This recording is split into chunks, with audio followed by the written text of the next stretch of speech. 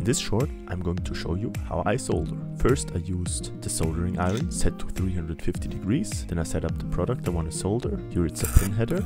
And here I demonstrate how it should work.